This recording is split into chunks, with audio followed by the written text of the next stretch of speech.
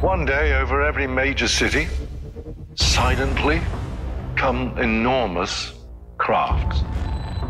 And everything kind of grinds to a halt, really. And it's their arrival.